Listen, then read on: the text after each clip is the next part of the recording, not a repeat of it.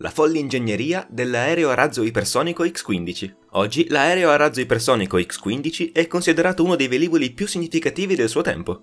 All'inizio degli anni 60, infatti, l'X-15 fece parte di una vera e propria avventura spaziale. All'epoca questo velivolo particolarmente resistente fu universalmente acclamato. Tuttavia, una serie di contrattempi impedì all'X-15 di raggiungere il suo pieno potenziale. Nonostante ciò, la sua straordinaria ingegneria è passata alla storia, così come i suoi impressionanti record di velocità. Per superare le difficoltà incontrate dall'X-15 è nato l'X-15A2. Le modifiche apportate dovrebbero rendere possibile la realizzazione dell'X-15. Esse dovrebbero consentire di superare i numerosi errori segnalati. In effetti, l'aereo a razzo ipersonico X-15 è diventato il primo aereo spaziale del mondo, ma l'eredità dell'X-15 può davvero continuare a vivere. Questo è ciò che gli aerei a razzo di Virgin Orbit stanno cercando di dimostrare. Oggi l'X-15 fa ancora parte della cultura popolare. La folle ingegneria del razzo ipersonico X-15 ha davvero influenzato l'industria aerospaziale di oggi? All'inizio degli anni 60 fu costruito l'aereo a razzo ipersonico X-15. Fu l'inizio di una grande avventura spaziale per un velivolo straordinario. Inizialmente su ITEC ci interessiamo alla storia della progettazione di questo aereo a razzo. Si tratta di un aereo sperimentale per il volo suborbitale proveniente direttamente dagli Stati Uniti. Costruito nell'ambito di un programma di ricerca sui voli ad altissima velocità a quote molto elevate, rappresentava le speranze dell'industria aerospaziale dell'epoca. Tra il 1960 e il 1968 i tre esemplari costruiti effettuarono circa 200 voli di prova per la NASA e l'aeronautica militare statunitense. L'X-15 ha addirittura superato i limiti del volo ad alta velocità con equipaggio. È vero che il dopoguerra è stato un periodo particolarmente favorevole per le grandi innovazioni del campo dell'aviazione. Nell'ottobre del 47 l'aviatore americano Chuck Yeager divenne il primo uomo a superare Mach 1. All'inizio degli anni 50 l'aeronautica statunitense e la NACA, il predecessore della NASA, si trovarono ad affrontare una sfida importante, infrangere la prossima barriera del suono. Si tratta di Mach 4, tanto più che stavano comparendo i primi caccia supersonici, aumentando la concorrenza nel settore dell'aviazione. Il progetto X-15 fu quindi accettato nel 1954. Gli obiettivi erano semplici, raggiungere un'altitudine di 75 km, una velocità di 7200 km/h e resistere a temperature superiori a 650 gradi centigradi. Nel novembre del 55 il costruttore americano di aerei aerospaziali e militari North American fu scelto per produrre l'X-15. La propulsione dell'aereo fu affidata al Reaction Motors. L'X-15 è lungo 15.47 metri e ha un'apertura alare di soli 6.81 metri è quindi essenzialmente costruito da un grande serbatoio, con un pilota a un'estremità e un motore a razzo all'altra. Ha anche un cilindro centrale, una fusoliera aerodinamica, due piccole ali e una serie di quattro alettoni mobili nella parte posteriore. L'X-15 è stato trasportato sotto l'ala di un bombardiere B-52 fino a quando non è stato staccato ad un'altitudine di quasi 12 km. Aveva quindi un alettone sotto l'aereo che doveva essere sganciato poco prima dell'atterraggio. Gli ingegneri hanno quindi sostituito il carrello posteriore con una coppia di grandi guide, che vengono cambiate a ogni volo. In questo questo modo si è risparmiato spazio e si è ridotta la complessità dell'X-15.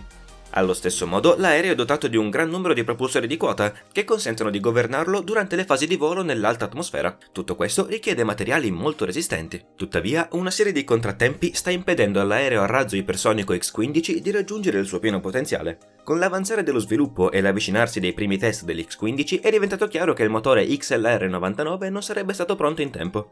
Gli ingegneri decisero quindi di utilizzare una coppia di XLR-11 come sostituti. Questi modelli spinsero l'X1 oltre la barriera del suono. Di conseguenza, il 10 marzo 1959, il pilota Albert Scott Crossfield pilotò l'X15 per la prima volta. Durante i primi test, l'aereo rimase sotto l'ala dell'aereo vettore. L'8 giugno dello stesso anno, le squadre decisero che era finalmente giunto il momento del primo volo libero. I motori non erano ancora accesi. Prima di ogni altra cosa era necessario verificare che l'X-15 volasse correttamente.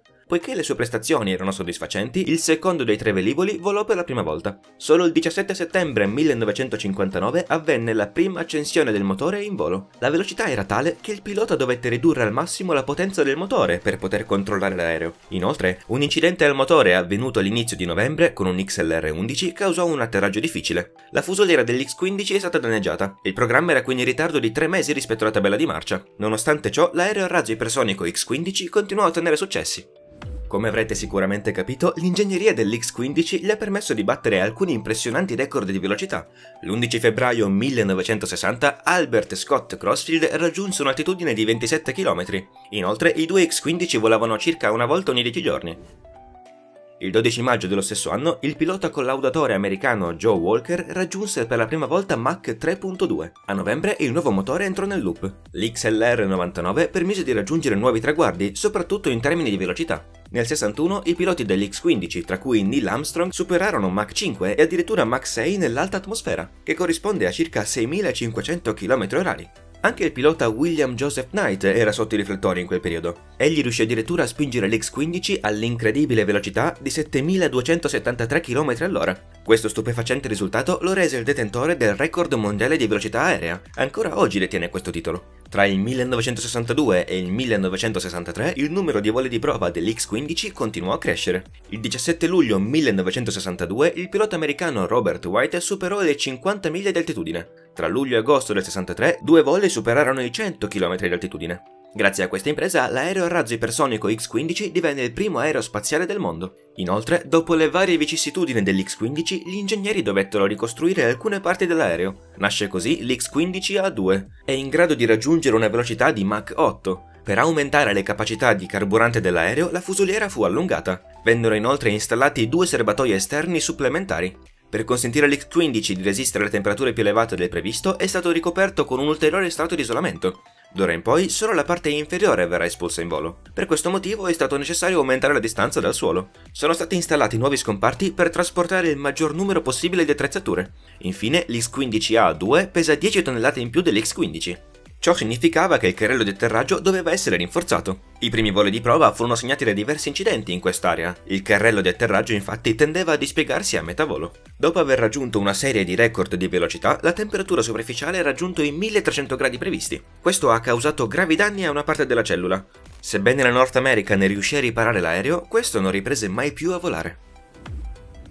L'eredità del razzo ipersonico X-15 può davvero continuare a vivere. Almeno questo è ciò che Virgin Orbit ha cercato di dimostrare con il suo progetto di aereo a razzo. Con la sua piccola società di lancio di satelliti Virgin Orbit, il miliardario Richard Branson sperava di sviluppare una soluzione per il lancio di satelliti in orbita. Per questo sta utilizzando un modello di razzo davvero non convenzionale. Stiamo parlando di razzi aerei. Il funzionamento è molto semplice. Un aereo decolla con un piccolo razzo sotto la fusoliera. Una volta in quota, il razzo si stacca e prende il controllo. Purtroppo i risultati di Virgin Orbit non sono stati all'altezza. Dei sei tentativi di mettere in orbita dei satelliti, solo quattro hanno avuto successo. Inoltre l'azienda ha incontrato una difficoltà finanziaria dopo l'altra. Oggi il progetto è definitivamente concluso ma l'X-15 fa ancora parte della cultura popolare. Il creatore del fumetto Buck Danny, John Michael Carlier, ha assistito al volo di Neil Armstrong a bordo dell'X-15. Decise quindi di far partecipare il suo eroe ai voli di prova dell'X-15. Questa avventura fu pubblicata su Le Journal des Spirou dal 1963 al 1964. L'X-15 è stato poi protagonista di numerosi film e serie televisive. Si può davvero parlare di un'eredità immortale dell'X-15? Questo aereo a razzo ipersonico ha spinto indietro i limiti dell'aviazione e ha convalidato nuovi concetti.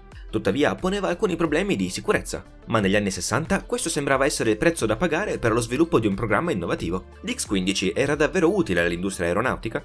Comunque sia, il modello di aereo a razzo è tutt'altro che morto oggi. Molti razzi decollano ancora e vengono lanciati da aerei portaerei. Alcune aziende come Virgin Galactic sono ancora aggrappate all'idea di un razzo aereo da turismo.